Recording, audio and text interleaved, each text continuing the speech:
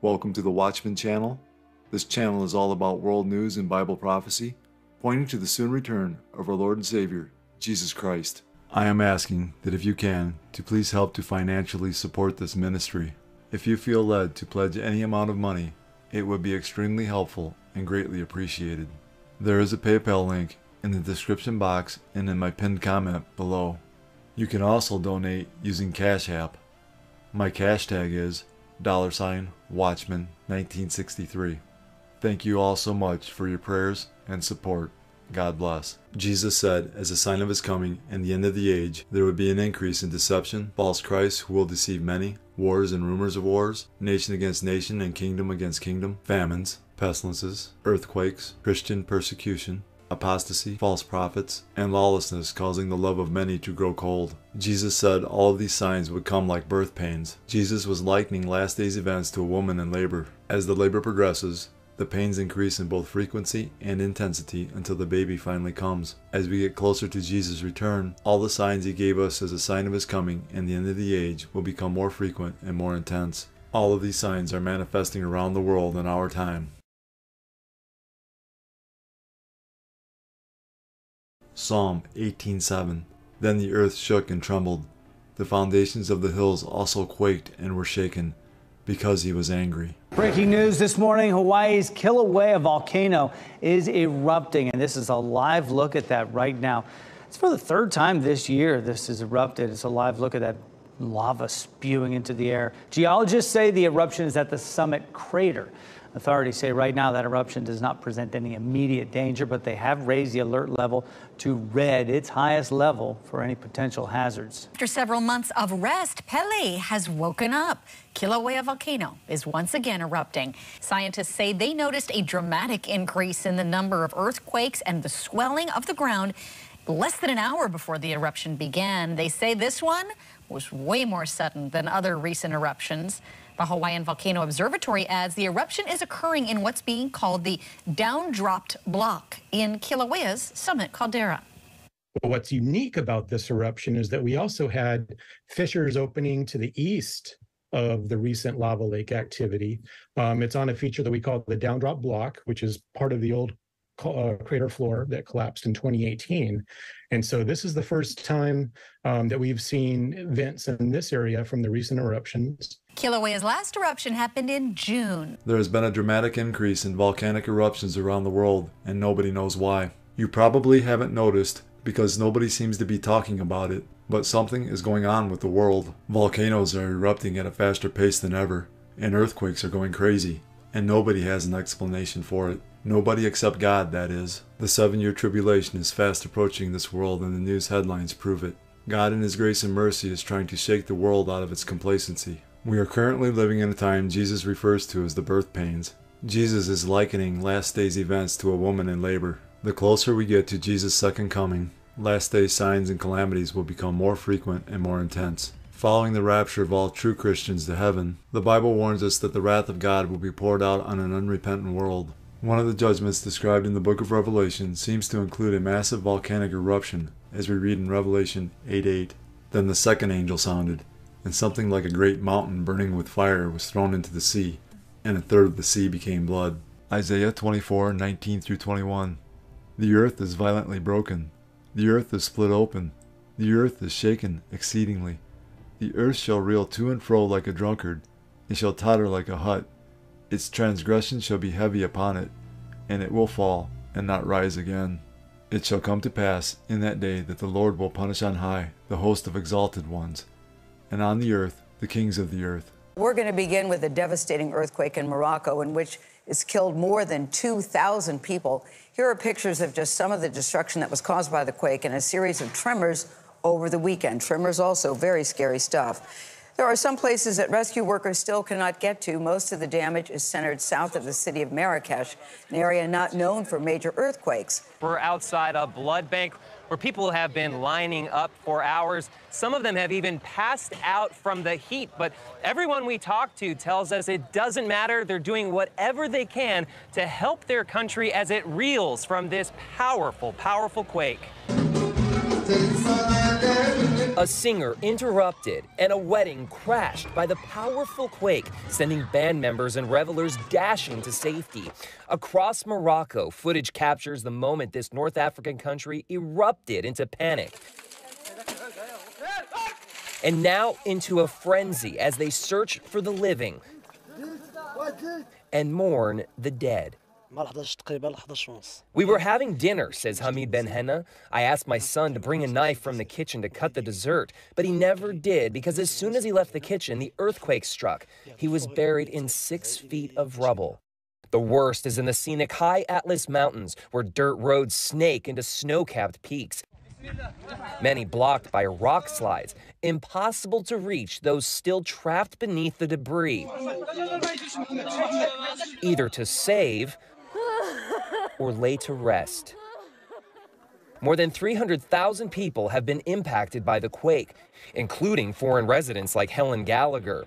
We just couldn't ever imagine something like this happening here, really. It's just been totally devastating. We're just in survival mode and just trying to get help out to the people who most need it, and we'll process it afterwards.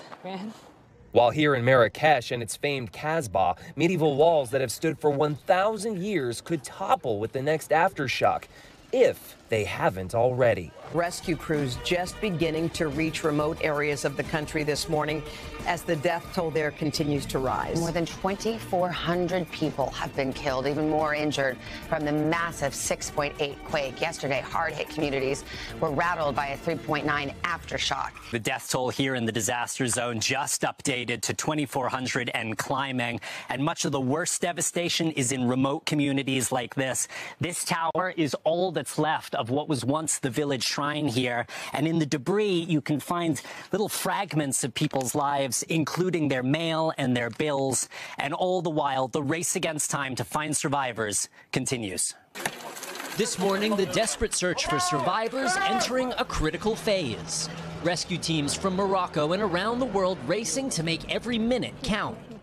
It's now been more than 48 hours since this 6.8 magnitude quake struck south of Marrakesh. The most powerful tremor in this region for more than 100 years, sending locals and tourists alike running for their lives in the streets of the historic city. The worst of the devastation in remote villages in the high Atlas Mountains, where adobe homes couldn't withstand the force of the quake.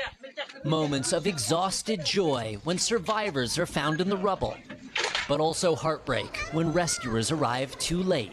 Working in, in these situations, search and rescue is still paramount, of paramount importance. We traveled up a winding mountain road blocked in places by boulders to reach the village of Moulay Brahim. This village was home to 3,000 people, but locals say at least 40 have been killed. That's more than 1% of the population that lost their lives. Among them, Lawson's three daughters, baby son, and wife.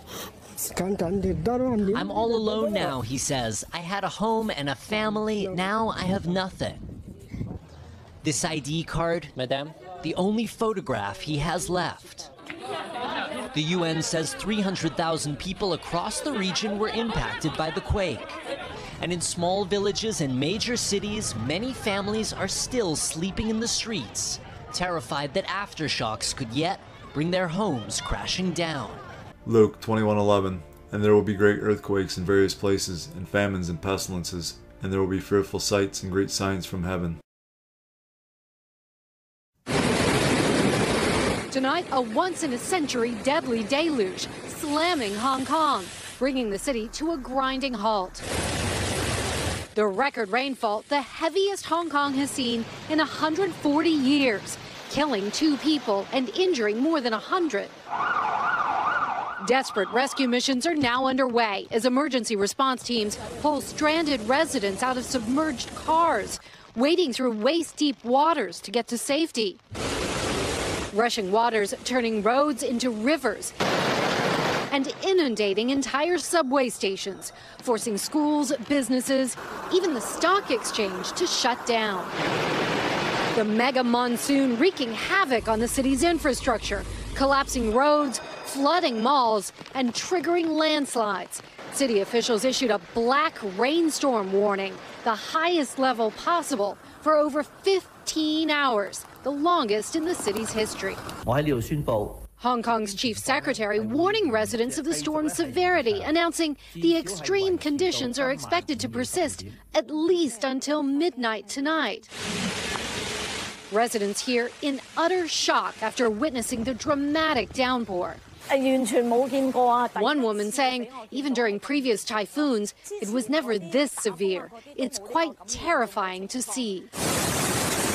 The extreme weather system hitting southern China just hours before, flooding the coastal region of Shenzhen, shutting down roads and public transportation, and forcing 11,000 people to evacuate. As flood warnings continue across the region, thousands of residents in Hong Kong and China still waiting out this relentless storm. As we look at the news, there is no doubt we are in the birth pains Jesus spoke of in Matthew 24 8. We see many of God's remedial judgments manifesting, as if God is warning us of things to come and calling on people to repent. We see war and rumors of wars, famine, and pestilence resulting in the deaths of thousands around the world. We are seeing earthquakes, extreme heat, floods, wildfires, tornadoes, hailstorms, and hurricanes, all at record levels of frequency and intensity, just like Jesus said would happen just prior to his return. The judgments God will use to punish mankind with during the seven year tribulation will be much worse than any of us can imagine. Still, this is God's grace and mercy, proving to everyone that these judgments come from him and he is still offering forgiveness of sins through his only begotten Son, Jesus Christ. If you have not accepted Jesus as your Lord and Savior, I implore you to do so today as we are not guaranteed tomorrow. Entire neighborhoods flooded across eastern Libya. The worst storm the country has seen in years. Mediterranean storm Daniel brought record rainfall. In the city of El Beida, people can only watch as their vehicles are washed away. Patients and staff were forced to evacuate several hospitals. Local officials are calling for immediate assistance. We announce with regret that the situation is completely out of control. We call on all government officials to intervene to save what can be saved. Governments are responsible for people's lives. We request the security services to provide assistance. Libya has been engulfed by political divisions for more than a decade the country has two governments. That slowed down emergency assistance efforts. The parallel government in eastern Libya has announced a two-day state of emergency, enforcing a curfew and calling for people to exercise caution if they leave their homes. The impact of Storm Daniel on eastern Libya has been devastating. Local officials say many people remain missing. With search and rescue operations currently underway, there are fears the death toll will only rise, and forecasters have issued a red warning, saying more storms are on their way. Under the constant buzz of helicopters, the 521st Marines Battalion prepared to rescue people stranded in the village of Marathea. They were surrounded by two kilometers of water, some of it a story high. But they weren't the first rescuers on the scene. Locals brought their fishing boats and ferried people out to waiting tractor trailers which local farmers brought here. And those they rescued told tales of woe. We were stranded for two days on the first story of a half built house above the water. We had water to drink, but no food other than a couple of snacks we grabbed from the house. There were sick people, elderly people, and children. The helicopters were operating, but they couldn't drop us a basket. We waited for a boat, and it came with volunteers. Volunteers plucked people like Gulianu off their rooftops, including the very old and frail. All were going to stay with relatives, some in Karditsa, but some were going as far as Athens. Froso Gulpa's daughter drove up from Athens to take her, but she left with a broken heart. All my childhood memories turned to rubble in seconds. The house where I grew up, it's all gone. Just when I went back to pick up my things to leave for Athens, at that moment it was collapsing, as though it had waited to say goodbye. Homes made of mud and stone, like Gulpa's, dissolved in floodwater, but in the neighboring village of Palamas, many homes were built of concrete, and some people here decided to stay. Volunteer farmers drove through almost a meter of water to bring them food, and took their mobile phones to charge them elsewhere, because the village is without electricity. State services and volunteers continued the rescue operation into the night. For the living, there is now every hope of a timely rescue. But some volunteers have told us that they've seen many dead bodies through the windows of flooded homes. The true death toll of these apparently unprecedented floods may only become clear once the waters have receded. Meanwhile, the survivors are beginning to tally what they've lost their homes, livestock, this year's crop of corn and cotton. And they say they'll need all the help the government can give them to bring life back to this agrarian economy. The phrase hot girl summer must have been coined for Mother Earth. The European Union says last month was the hottest August on record, following the hottest ever July and June. This past August wasn't as bad as July, which was the hottest month ever recorded. But August's high temperatures put this summer in the books as the Northern Hemisphere's hottest summer since record keeping started in 1940. The increase in temperature since the pre industrial era is estimated to be about 1.5 degrees Celsius, which is within the guidelines of the Paris Climate Agreement. But an increase in temperature is still an increase, and the 196 countries that signed on to the pledge still have work to do to prevent next summer and all the following summers from breaking heat records. Jesus said a sign of his return would be more frequent and more intense weather, as we read in Matthew 24 7 and 8. And there will be famines, pestilences, and earthquakes in various places. All these are the beginning of birth pains. Pestilence is the Greek word loimos, which means a plague. Definition of a plague is any large scale calamity, especially when thought to be sent by God. God has used plagues in the form of extreme weather in the past and will again in the future. The seventh plague on Egypt was hail. Don't forget about the famine in Joseph's time. One of the biggest is the flood in the book of Genesis. In the future, during the seven year tribulation, God will once again use extreme weather in the form of pestilence as judgment. In Revelation 16:21, God uses hailstones weighing 100 pounds each, and great hail from heaven fell upon men, each hailstone about the weight of a talent.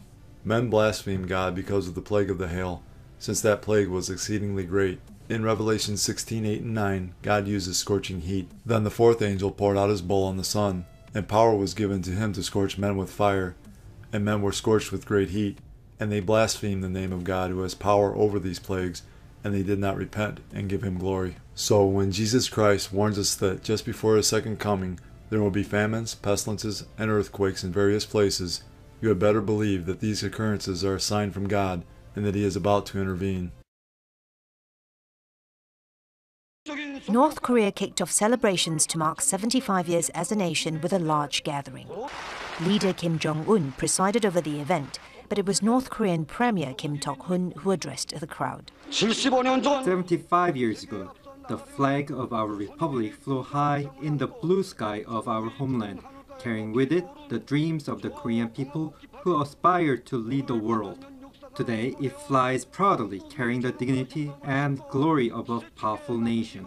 The meeting was followed by a parade at midnight that featured paramilitary forces, including a display by a parachute unit.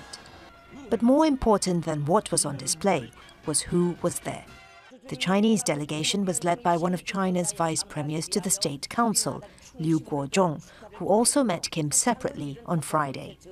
Russia did not send its senior officials, leading to speculation they could be getting ready for a possible meeting between Russian President Vladimir Putin and Kim. Reports say a meeting between the two would likely focus on an arms deal that would benefit Russia in its war on Ukraine. In return, North Korea could receive food and energy assistance and also technology to help advance its nuclear weapons program. Many experts have been predicting for several years now that a block is being built between these three authoritarian states. They're essentially trying to balance, in some ways, the growing strength of the US, uh, Japan, and South Korea uh, relationship by building their own trilateral relationship. Tensions in the Korean Peninsula are at their highest in years. North Korea has conducted a record number of weapons tests this year, while the US's combined military exercises with South Korea and Japan have intensified. Here in South Korea, there are growing concerns about North Korea's efforts to deepen ties with China and Russia. Earlier this week, South Korean President Yoon Suk yeol urged China to do more as a permanent member of the UN Security Council to address North Korea's nuclear threat. But he also said his country will strengthen ties with the US and Japan to counter Pyongyang. It appears divisions in this region are set to remain, perhaps even increase the morning after dozens of kamikaze drones were launched at the Ukrainian capital. Life in Kiev may seem normal, But for residents such as the owner of this vehicle, caught in the path of falling debris, it is not. Professor I was driving along. There was an air raid siren. I wanted to get home as fast as possible. I heard explosions, and after passing the traffic light, there was a flash right in front of me and an explosion under the car. I have a headache right now and a noise in my head. I don't feel well because I haven't slept. Valentin says he feels lucky to be alive. Damage to commercial vehicles like this from falling debris almost certainly affects people's livelihoods. Drone attacks being carried out in places like this, areas where there are residential apartment blocks, people's homes, Ukrainians say is indicative of a campaign of fear being carried out against civilians. The attack in the early hours of Sunday morning was heard across the city center.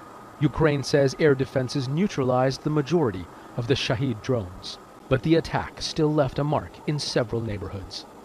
One damaged apartment block immediately behind the U.S. Embassy. Coincidence or not, a worrying sign. It was a very frightening experience. I heard a sound like motorbike flying over, a rustling sound. Then there was a powerful explosion, followed by a huge flash of light. My window curtain tore off, and the jars I had on my window sills were shattered. There has been no let up to near nightly attacks countrywide. Matthew 24, 6 and 7. And you will hear of wars and rumors of wars. See that you are not troubled, for all these things must come to pass, but the end is not yet. For nation will rise against nation, and kingdom against kingdom. Nation is the Greek word ethnos, which means a race, as of the same habit, i.e., a tribe, especially a foreign, non Jewish one, Gentiles, usually by implication, pagan. What I believe Jesus is saying here is that there have always been wars and rumors of wars. But when you see the same ethnic group fighting the same ethnic group, now pay attention. His return is near. One after another, Palestinians are leaving their homes inside Ain al Hilwa. The refugee camp in southern Lebanon is now a war zone. Three days of fighting between rival factions has created a humanitarian crisis.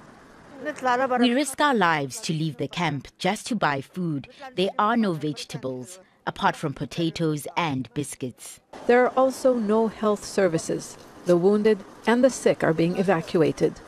But it's dangerous. Even ambulances are coming under fire. The fighting is worse than the last round a month ago. It has spread to many neighborhoods. We don't know what to do.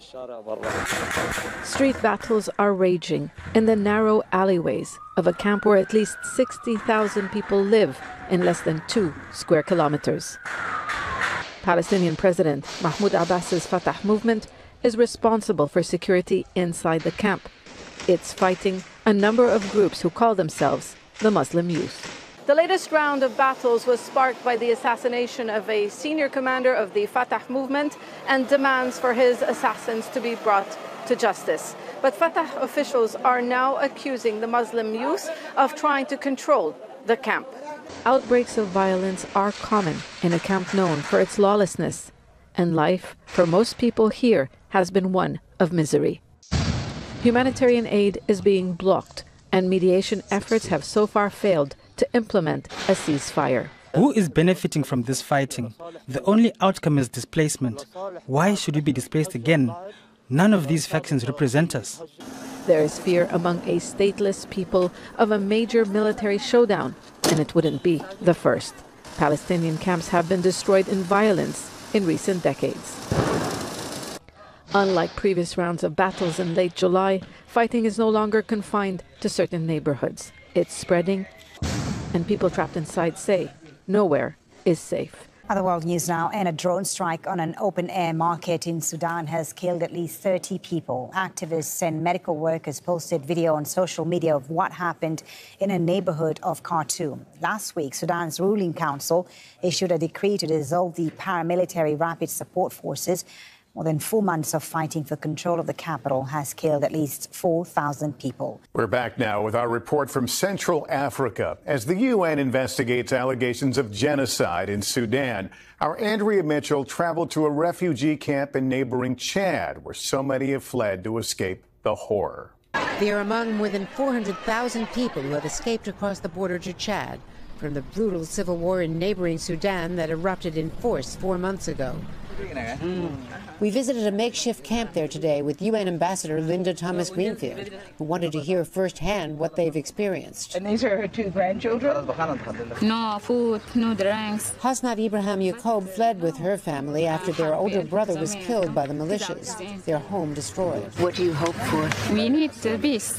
Sewer fit, including a recent measles epidemic and starving children. It is overwhelming. I see those little children. I saw a six month old uh, who looked like a newborn, and I was told by the doctors that actually she was doing better. But who can heal the pain from the terror they've experienced? Many of the women in this makeshift camp tell of being by the marauding militias who kill the men and steal the boys to recruit them.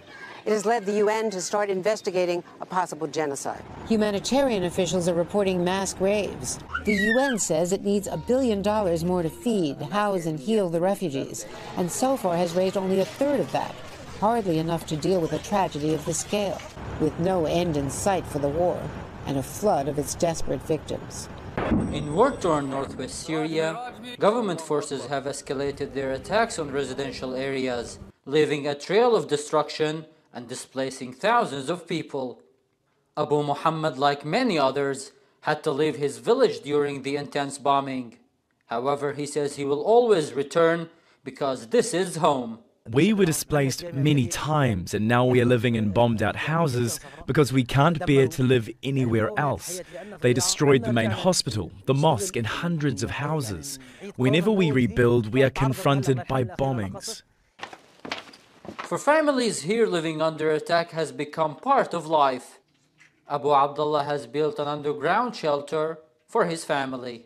I built this shelter for my family so we don't have to be displaced again. The past couple of days were scary. More than 40 missiles fell in the area. Life is getting harder. This is one of the areas in southern Idlib that has come under repeated attack this week. Jabal al-Zawiya is made up of dozens of villages, and authorities here say they have been targeted by airstrikes, resulting in many casualties. The attacks have also damaged facilities, including medical centers. Despite the challenges they face, many people in northwest Syria are trying not to give up. They have survived 12 years of conflict. However, as the horrors of war continue to mount, they have few choices. Leave their homes or stay and risk being killed. Luke 21:25 And there will be signs in the sun, in the moon, and in the stars, and on the earth distress of nations, with perplexity, the sea and the waves roaring. One of the many signs we are living in the last days right before the return of Jesus Christ is nations will be in a state of perplexity or uncertainty over what to do in a difficult situation. This is exactly what is happening in our world today. Luke 21 26 through 28. Men's hearts failing them from fear and the expectation of those things which are coming on the earth, for the powers of the heavens will be shaken. Then they will see the Son of Man coming in a cloud with power and great glory. Now, when these things begin to happen, look up and lift up your heads, because your redemption draws near. The signs of Jesus' soon return are so strong now, and the evidence is so clear, that any person willing to accept the truth can see that the end of the world, as we know it, is near. For God so loved the world that he gave his only begotten Son, that whoever believes in him should not perish, but have everlasting life. For all have sinned and fall short of the glory of God. But God demonstrates his own love toward us, in that while we were still sinners, Christ died for us. For the wages of sin is death, but the gift of God is eternal life in Christ Jesus our Lord. That if you confess with your mouth the Lord Jesus and believe in your heart that God has raised him from the dead, you will be saved. These are the ABCs of salvation. A. Admit that you're a sinner. B. Believe in your heart that Jesus Christ died for your sins, was buried, and God raised him from the dead. C. Call upon the name of the Lord, and you will be saved. Jesus paid the price for mankind's sin. He has provided a way to spend eternity with Him and the Father. All you have to do is believe in the Lord Jesus, and you will be saved. God has already done all the work. All you must do is receive, in faith, the salvation God offers. Fully trust in Jesus alone as the payment for your sins. Believe in Him, and you will not perish. God is offering you salvation as a gift. All you have to do is accept it. Jesus is the only way of salvation. That being said, we must repent of our sins. While repentance is not a work that earns salvation, repentance unto salvation does result in works. It is impossible to truly and fully change your mind without that causing a change in action. In the Bible, repentance results in a change in behavior. Repentance, properly defined, is necessary for salvation. One day, Jesus is coming. You may be at church. You may be at work.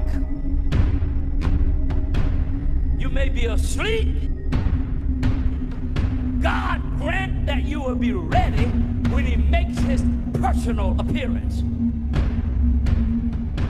My God, what if His appearance occurs on a Sunday morning? My prophetic word to you this morning is get ready! Get ready!